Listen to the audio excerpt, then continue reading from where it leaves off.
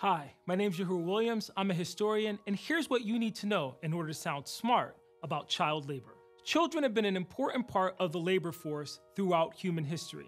But in the 19th century, this became a problem due to industrialization, as children were exposed to dangerous working conditions. Employers, however, saw a huge benefit to the use of child labor. Children were smaller and more nimble, and so therefore could perform functions that would be more difficult for adults. In addition, it was more difficult for children to unionize, and employers could pay them lower wages than they had to pay adults. This, however, was a deep source of concern for reformers who believed that children were not only placed in jeopardy by virtue of this work, but that they also should be receiving an education instead.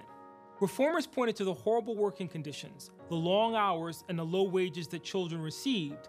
In the 1840s, just as American reformers were having some success in limiting child working hours for native born Americans, an influx of immigrants from places like Ireland provided a fresh supply of child labor for the burgeoning Industrial Revolution. Between 1902 and 1905, several organizations committed themselves to seeing an end to child labor in the United States. But it wasn't until the advent of the Great Depression that real change was on the horizon. With so many Americans out of work, labor unions and laborers began to clamor for an end to child labor to ensure that the adult working population would have enough jobs. This proved to be an important development. Lawmakers actually drafted legislation which ended the practice in the United States limiting working hours and improving working conditions for young people. One of the lasting legacies of the battle to end the use of child labor is the importance of education.